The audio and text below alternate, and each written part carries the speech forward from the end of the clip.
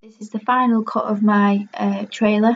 It has all the audience feedback necessary into it uh, as we continuously took audience feedback very seriously and added it in each time. Uh, again, the MPAA last screen is added in. Um, and then we also added some music throughout the trailer and also a creaking sound at this point as we think as audience thought it was needed to make it evident as to why she was looking up. Who's there?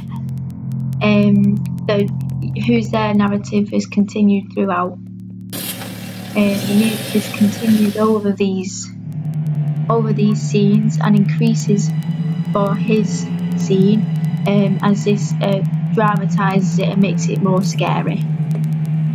Um, the music continues to increase in volume over these scenes to increase the tension and the fear the audience may be feeling as it's very unexpected um, and they might be expecting a jump scare.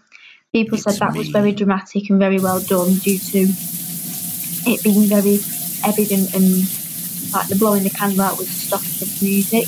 Um, this has been lit up, challenged the conventions.